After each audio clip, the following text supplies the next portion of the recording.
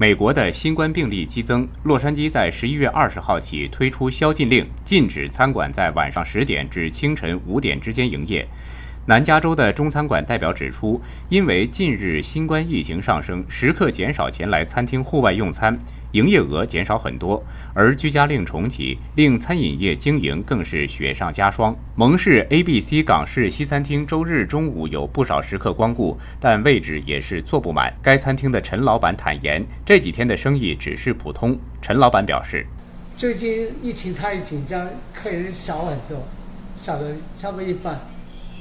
肯肯定很大，肯定肯定肯定没办法，绝对会小一少一半生意。真正就卧堂吃生意就有一点数据有一点上心，还是蛮不错。但是对于这几天，因为这个疫情的报告，这个要告体啊来讲，他说属于很紧张，说客人出来比较少，老人家出来比较少。前阵子老人家哇。很多跑出来，这几天就少。很多餐厅也不能做到再便宜一点，不能，因为这个价格成本啊，所以东西很多都怎么来想都没办法，只只能够把这个工钱省一点，工人请少一点。租金绝对不能便宜，嗯，他不能给一般的租金啊，我就是希望好有很多餐厅都给一点点一部分租金，我们这边不行。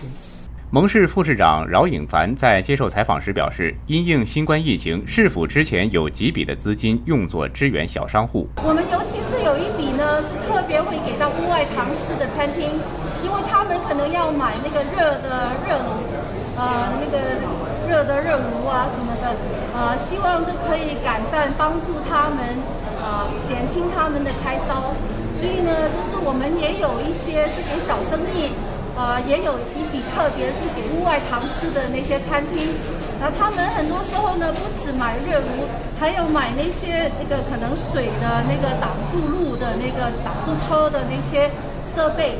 所以我们呢，都希望帮助那个餐馆。啊，可以那个顺利过渡。嗯，我觉得很多市民都跟我们讲说比较担心，当然出来呢机会少一点。不过呢，好像看到现在的话呢，也影响不是很大。啊，不过希望呢，我们疫情呢慢慢减退的话呢，希望可以又进一步可以改善。不过呢，我希望大家那个呃都。小心哈，户外那个在社区那个保持距离。不过呢，呃，也希望你们不要减退，就是你们出来那个用餐的那个心。